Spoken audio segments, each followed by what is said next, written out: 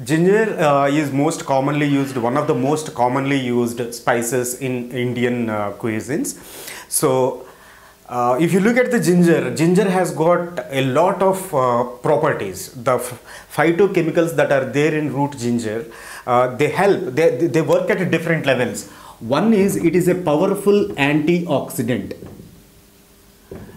powerful antioxidants means all lifestyle diseases we know of whether it is hypertension heart disease arthritis any kind of cancers any kind of disease it is because of oxidation that is happening inside our body. So ginger contains this antioxidant property which prevents uh, oxidation. Second is it is antibacterial.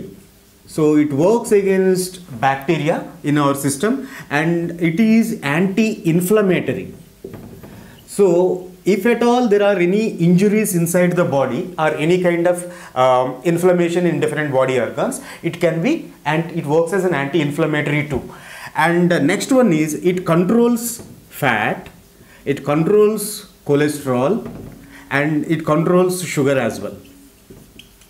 So, Mm, there are many benefits of um, ginger so its usage usually i mean if you take uh, a small piece of ginger uh, in your fruit juices or vegetable juices yes it definitely helps you G1, a must-have app for your smartphone. Apart from emergency services, services like Bloody Friends, Bill Reminder, Community and Nearby are also included.